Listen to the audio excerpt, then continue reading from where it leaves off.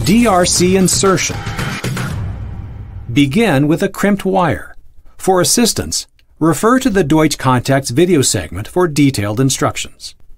Refer to your wiring diagram to know which wire to insert into each cavity. All cavities are marked with numbers or letters depending on the design. Grasp the crimped contact approximately 1 inch behind the contact barrel. Hold the connector with the rear grommet facing you. Push the contact straight into the rear grommet until you hear and feel a click.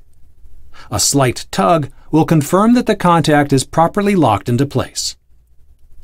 Repeat this process until all of the cavities are filled. Repeat the same process for the receptacle and the plug halves of the connectors. Make sure to insert the contacts into the rear grommet. Please note that if you have open cavities, they will need to be filled with appropriately sized sealing plugs.